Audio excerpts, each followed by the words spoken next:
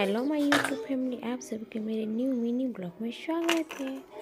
आज बनाएँगे लिट्टी और मटर इधर लहसुन, अदरक, हरा मिर्च, सारा चीज़ को पीस के सत्तू में मिक्स करें। उसमें नमक अजवाइन प्याज, इधर मम्मी और सब मेरी नमक दोनों बना रही है। ये बन लिट्टी और इसको फ्राई करेंगे।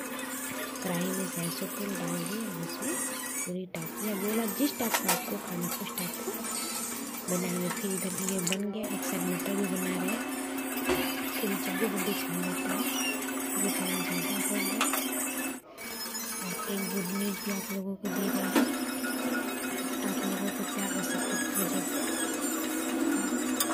दस की सब्सक्राइबर कंप्लीट हो गया, दस हज़ार सब्सक्राइबर हम देखिए तो इधर मटर बनाएँगे, प्याज कट कट लिए, तेज पत्ता, जीरा मिर्च, पका लिए, लहसुन उसमें डालेंगे, फिर उसमें मसाला डाल देंगे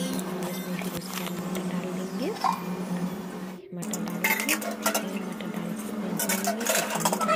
के खाने खाने भी आगे ये देखिए मटर टमाटर लाइक प्याज काट के जगह से ये वीडियो अच्छी